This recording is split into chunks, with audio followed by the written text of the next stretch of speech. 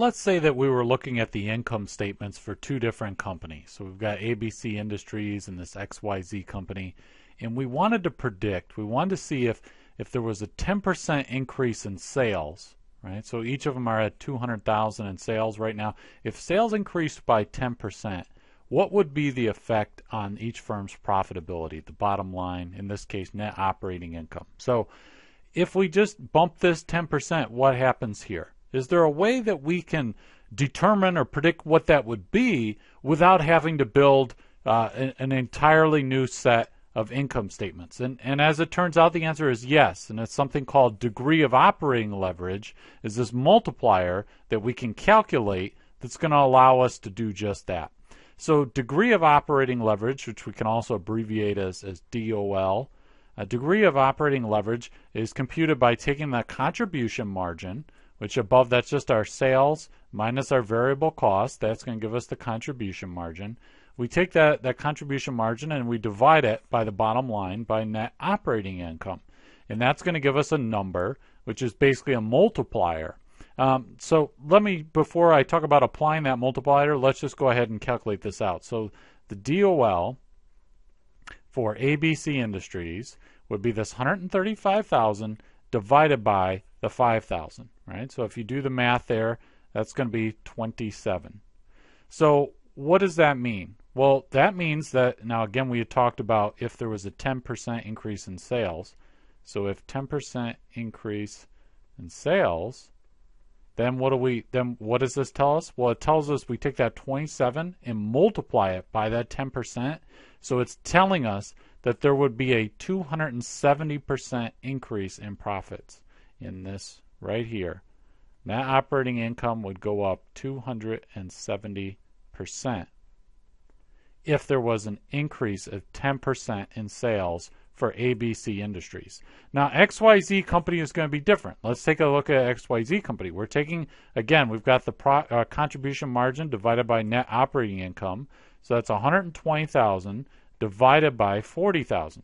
And that's going to give us a DOL, a degree of operating leverage, of 3.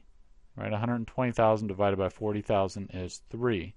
And now, again, we come back to this. We're assuming that there's a 10% increase in sales and we're saying, okay, how can we use this 3 to tell us what would happen to the profitability uh, given that 10% increase in sales? So we take the percentage increase in sales and we multiply it by our DOL.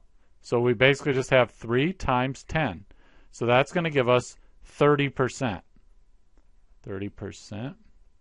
So what this means is that based on these, these DOL figures that we have here, if there's a 10% increase in sales for each firm, right? So they're they're starting at two hundred thousand dollars in sales, but they have a different degree of operating leverage for each firm, right? So each firm is going to be affected differently by this ten percent increase in sales, right? And actually, it's going to have a huge impact on the profitability of ABC Industries. That profitability is going to go up 270%, and then XYZ company is just going to go up 30%. You might say, hey, that's weird. They both have the same amount of sales. Why, if we change the percentage of sales for each one by the same amount, would the profitability uh, be affected differently in each case by a different percent? And so the, the kind of the idea behind this degree of operating leverage uh, is that when a firm is closer to its break even point, uh, and then we have an increase in sales, that's going to have a bigger effect on the bottom line, on this net operating income number. And we see that right here, basically ABC Industries, uh, they're very close to breaking even, right? They right now they only have five thousand in net operating income, whereas XYZ company has forty thousand in profit. So ABC is a lot closer to the break even point.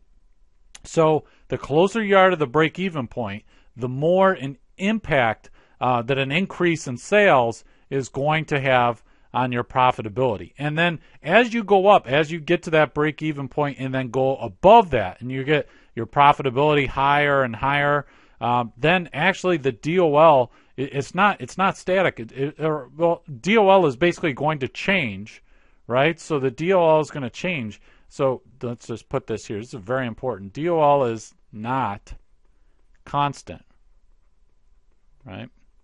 as sales and profits continue to increase, right? As this, so let's say this this goes from five thousand to to fifty thousand or to hundred thousand. Um, as as sales increase, right? The sales just keep increasing and increasing what's going to happen is the DOL is going to start decreasing because now you're getting further and further away from the break even point. And as you get further from the break even point, each incremental increase in sales is going to have less and less of an imp- impact on the bottom line.